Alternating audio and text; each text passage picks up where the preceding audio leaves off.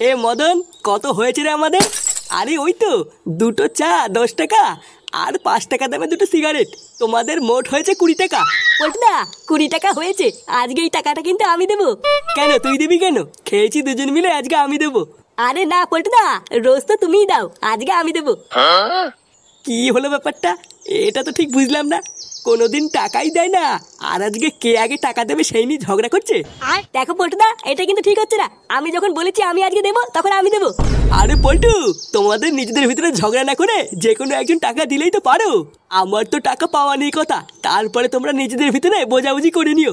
হ্যাঁ রে মদন তুই চাপ নিস না টাকাটা আমিই দেবো। পল্টুদা দেখো আমি কিন্তু শেষবার বলছি হয় আজকে আমি টাকা দেবো নাহলে কিন্তু তোমার আমার বন্ধুত্ব এখানে শেষ।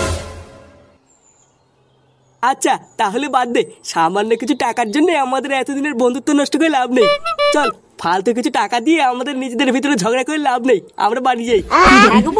ঠিকই বলেছ চলো। এটা কি হলো? বোকা গুলো নিজেরা ঝগড়া করে বলল আর গাড় মারা গেল আমার?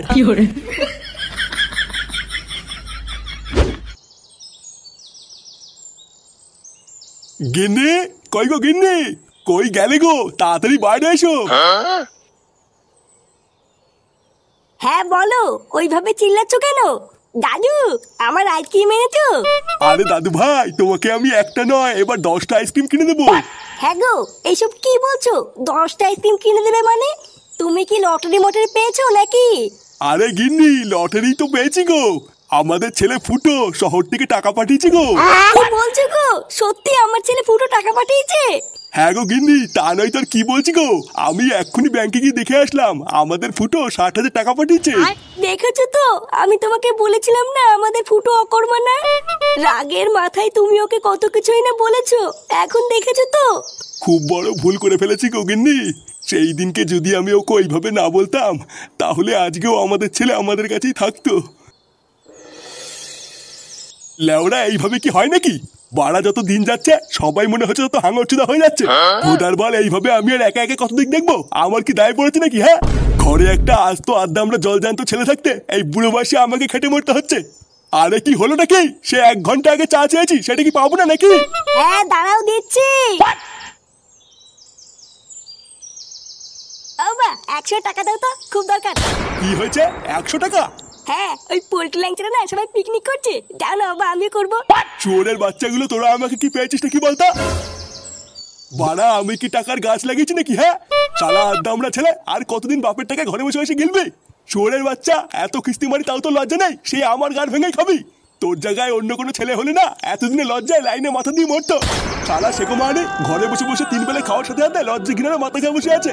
ভগবান জানে কি পাপ করেছিলাম আর কি পাপ করে তোর মতন একটা ছেলেকে জন্ম দিয়েছিলাম। কিরে, এখনও কপালের উপর দাঁড়িয়ে আছিস কেন? বেরো এখান থেকে। যত সব বালছালগুলো এসেও জোটে আমার কপালে।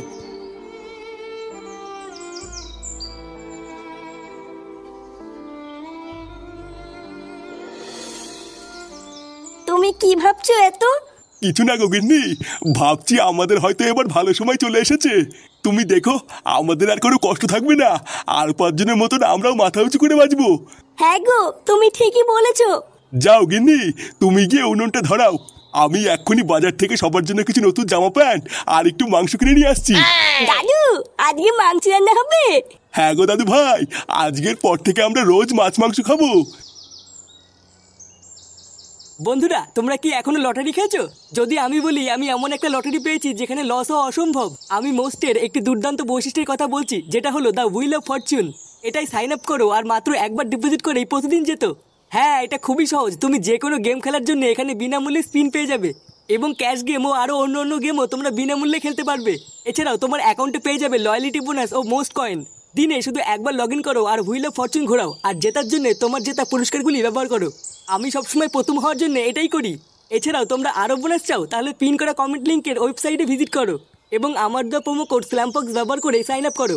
আর উপহার হিসেবে পেয়ে যাও দেড়শো পার্সেন্ট বোনাস ও দুশো পঞ্চাশটি ফ্রি স্পিন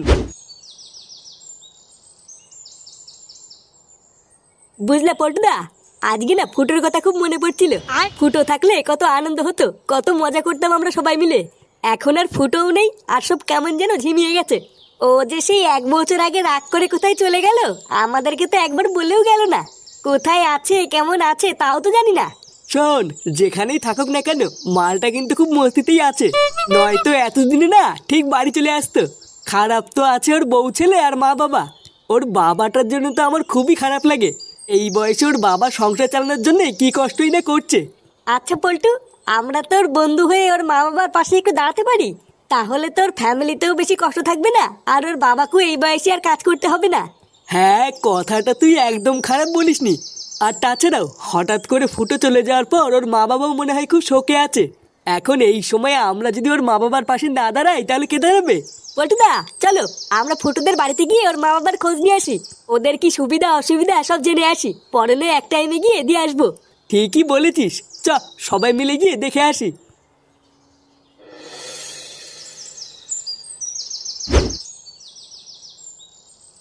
কাকু ও কাকু। পল্টুদা জোরে ডাকো জোরে। কাকু এই কে রে? ওই তো পল্টু আসছে। এ কি রে পল্টু ফটকে ল্যাংচা তোরা এতদিন পর? আমি তো ভাবলাম আমার ফুটো চলে যাওয়ার পর তোরা হয়তো আমাদের ভুলে গেছিস। এ কি রে পল্টু? আমরা তো ভাবলাম ফুটো চলে যাওয়ার পর ওরা খুব শোকে আছে। এখন তো দেখছি পুরো গেটাপি চেঞ্জ হয়ে গেছে রে। কি রে তোরা কি খালি বাইরেই দাঁড়িয়ে থাকবি? ভিতরে আসবি না নাকি? আয় আয় ভিতরে আয়। মাংস রান্না হয়েছে খেয়ে যা। এ- এইসব আমি কি দেখছি গো? এ তো নিজের চোখে বিশেষ হচ্ছে না। ল্যাওড়া যারা কোনোদিন শাক পাতা ছাড়া ভাত পেত না তারা দেখছি আজকে মাংস রান্না করে ডাকছে। পাড়া চুপ কর। আগে ব্যাপারটা আমাকে বুঝতে দে। আরে চোদনাগুলো তোরা কি ভিতরে আসতে লজ্জা পাচ্ছিস নাকি? আয় আয়। গিন্নি কই গো গিন্নি? তাড়াতাড়ি এদিকে এসো দেখো কারা এসেছে। ওমা আমি এটা কি দেখছি গো? এতদিন পর তোরা এসেছিস। আর বলো না গো গিন্নি ওরা তো ভেতরে আসতেই চাইছিল না আমি জোর করে নিয়ে এসেছি। আমার ফুটো চলে যাওয়ার পর সেই থেকে তো আর ওরাও আমাদের বাড়িতে আর আসেনি। তা এতদিন পর আমাদের বাড়িতে এসেছে ওদেরকে কি আর এইভাবে বাড়ি পাঠানো যায় নাকি? হ্যাঁ গো তুমি ঠিকই করেছ। আজকের এই খুশির দিনে ওরা না থাকলে কি করে হবে? খুশির দিন মানে? এ, কেন? কিছু হয়েছে নাকি আজকে? আরে হ্যাঁ রে কিছু হয়েছে মানে আবার কি বলছিস? আজকেই তো আমাদের মেন খুশির দিন। কেন কাকু? কারোর কি পুঙ্গা টুঙ্গা মারা গেছে নাকি? আরে আমাদের ফুটো সে তো বিদেশে গিয়ে বিশাল বড় চাকরি করছে রে। এ, কি? এ, চাকরি? হ্যাঁ তা নয় তো আর কি বলছি? আজকে এতদিন পর আমার ছেলে ফুটু ইনকাম করে ষাট হাজার টাকা পাঠিয়েছে। ষাট হাজার টাকা? আহ তুমিও না পারো সত্যি। দেখছ যে ছেলেগুলো এতদিন পর আমাদের বাড়িতে এসেছে। একটু খাওয়া দাওয়া করুক তারপরে গল্প করো। ইয়ে মানে নানা কাকিমা আমরা আজকে আর কিছু খাব না। আমাদের লেউড়া পেট ভরে গেছে।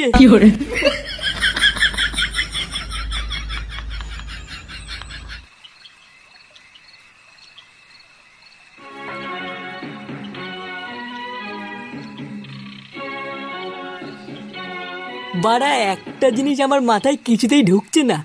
ফুটো বিদেশে গিয়ে চাকরি করছে? হ্যাঁ রে পল্টু আমিও তো ওটাই ভাবছি। যে চুদির ভাই ক্লাস টু ফেল করেছে সে চোদনা চাকরি পেল কি করে? না রে ফুটোর কথা বলা যায় না। ওর ভিতরে একটা আলাদা ট্যালেন্ট আছে বুঝলি? কিন্তু তাই বলে ষাট হাজার টাকা বাড়িতে পাঠিয়েছে? অতগুলো টাকা তো ভোদার বেলা আমি কোনোদিন চোখেও দেখিনি। পল্টুদা আমার মনে হয় ফুটো কোনো বড় সড়ো চাকরি পেয়েছে বুঝলা? হ্যাঁ তা তো পেয়েছেই। আমি ভাবছি বুঝলি কাল সকালবেলায় শহরে গিয়ে ফুটোর সাথে একবার দেখা করে আসব। কি বলতিস কিরে পল্টু তুই ফুটোর সাথে দেখা করতে শহরে যাবি? ও এখন এত বড় একটা চাকরি করছে ওর এত টাকা হয়েছে যদি আমাদের ওর ঘরের গেট থেকেই তাড়িয়ে দেয়? আরে না রে ফুটো আর যেমনই হোক ওই রকম না। তোরা সবাই রেডি হয়ে যাবি কালকে সকালবেলায় আমরা বেরিয়ে যাব ঠিক আছে? না রে পল্টু তোরা যা আমার যাওয়া হবে না বুঝলি? বাবার শরীরটা কয়দিন ধরে ভালো না আমাকে বাড়িতেই থাকতে হবে। পল্টুদা তুমি চাপ নিও না আমি যাব। আমি তো ঠিক করেই নিয়েছি। বিদেশে গিয়ে ফুটোর সাথে থেকে চাকরি করব। আচ্ছা ঠিক আছে। মনে করে কালকে ভোরবেলা রেডি হয়ে যাবি। কালকে সকাল সকাল বেরিয়ে পড়ব।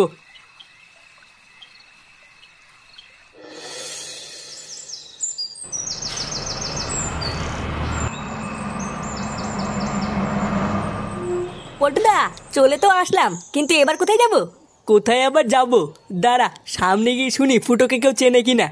চ সামনে আগিয়ে কাউকে জিজ্ঞাসা করে দেখি। আচ্ছা পল্টুদা চলো।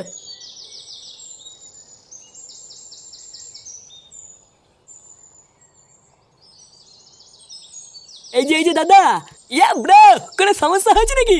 এমা না না কোনো সমস্যা হয়নি।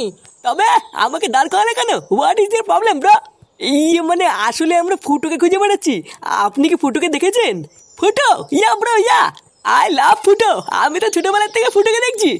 পল্টুদা এই ছোটবেলার থেকে ফুটোকে দেখছে মানে? এ কি ফুটোর বন্ধু নাকি? ইয়ে চুপ করে কেন ব্রো বলো তোমাদের কি ধরনের ফুটো লাগবে?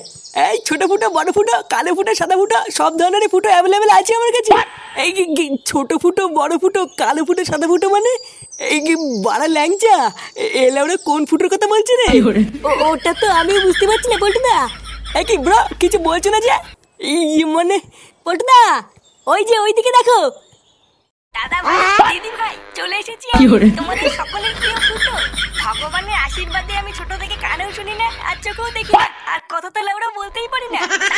কি দেখছ? কাছে এসো কাছে এসে গরিব দুঃখীকে দুটো টাকা ভিক্ষা দিয়ে যাও। ও তার মানে শুনে বাচ্চাটা শহরে এসে এই চাকরি করছে? এ- তো আমি নিজের চোখে বিশ্বাস করতে পারছি না। আমি তো ভাবলাম ফুটো শহরে গিয়ে কত বড়ই না কাজ করছে।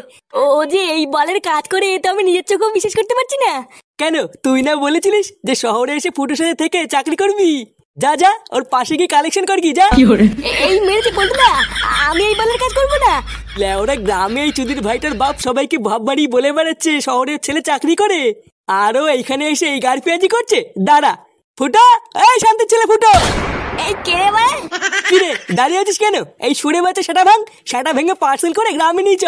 ঠিকই বলেছে পল্টুদা এই চুদির ভাইটা আমাদের বালচের গ্রামের নাম পুরো বদনাম করে দিয়েছে। মারো চুদির ভাইকে। এই কে কেড়ে লেওরা সামনে আয়। 打开门冰冰快